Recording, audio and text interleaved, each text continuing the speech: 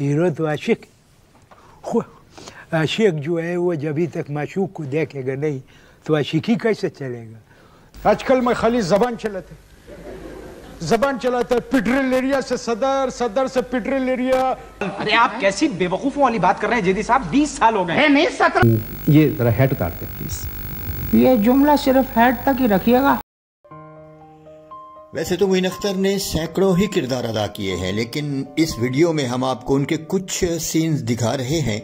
ये देखिए और फैसला कीजिए कि क्या मोइन अख्तर से बड़ा अदाकार भी बड़े सगीर में कोई था? होता है शबो रोज तमाशा मेरे आगे। मोइन अख्तर ने लातादाद किरदार अदा किए। ये उनके कुछ मनाजिर देखिए उनकी अदाकारी के कुछ मनाजिर हम आपको दिखा रहे हैं। देखिए और उनके फन के बारे में खुद ही फैसला कीजिए। ये मेहताब राशदी वाला शो नहीं है? जी। अभी पता चलेगा कि ये बाल तुमने जहानत में सफ़ेद किया या टाइम जया किया। न जाने इनके घर में जाके अब्बा किसको देखा है। मुझे आके कहने लगे बेटे सिडॉल है मैं मान गया। न मैं सुपरमैन हूँ। न मैं बैटमैन हूँ न मैं स्पाइडरमैन हूँ और न मैं वज़ीर आज़म हूँ। गज़ल? हाँ गज़ल। गज़ल तो मेरे उल्टे हाथ का खेल है। देखो अनवर जब मैं दिल्ली से यहाँ पर आई इस्लामाबाद बारह घंटे लगे तुम्हारा देश जो है वो बहुत महँगाई खत्म नहीं हो रही है। महँगाई खत्म नहीं हो रही है समझ में आई बात? सब कह रहे हैं कि जी बच्चों की सेहत का ख्याल रखो उनको पंद्रह रुपए का अखबार खरीदता हूँ जिसमें चौदह रुपए नब्बे पैसे की बड़ी बड़ी बिल्डिंगों के प्लाजों के इश्तेहार देखता हूँ। हमने उम्र किया है। मैंने भी किया उम्र। अरे हमने अपने पैसों से किया तुम्हारी तरह हुकूमत की चमचागिरी में नहीं किया पाकिस्तान से जो हाँ छोटा है।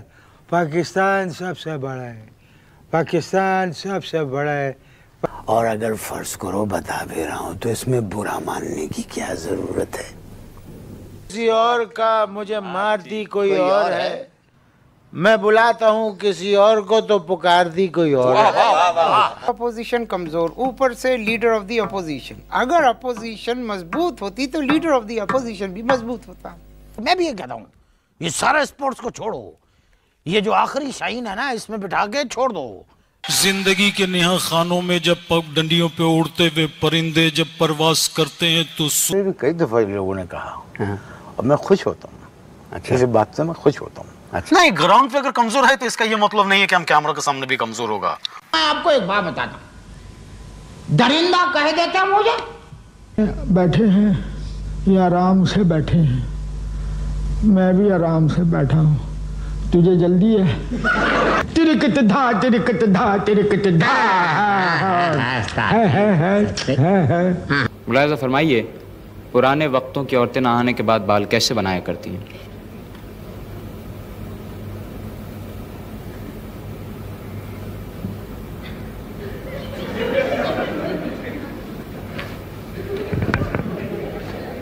कवाली का तो रुझान ही खत्म हो रहा है पाकिस्तान में। अनवर मकसूद में यहाँ मुसलमान का पहला परस क्या है जब दूसरा मुसलमान से मिलता है देखता है? क्या परस है? जब आपको जवाब दिया कि एक आदमी को बाहर उसने मुझे सलाम किया मैं जवाब दे चुका हूँ। ढूंढोगे अगर मुल्कों मुल्कों मिलने की नहीं नायाब है हम।